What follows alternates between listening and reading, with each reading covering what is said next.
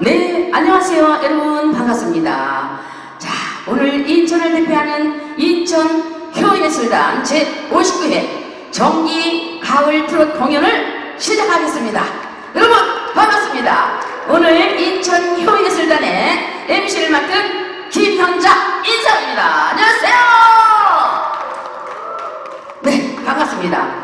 인천 효예술단에 정말 오랜만에 제가 발걸음을 했습니다. 제가 친정나들이를 한 것 같네요. 여러분들 뵈니까 참 반갑고요.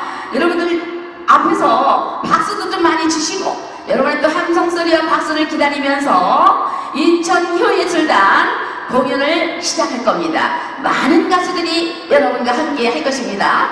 여러분의 박수를 기다리면서 이번 가수 소개할게요. 오늘 한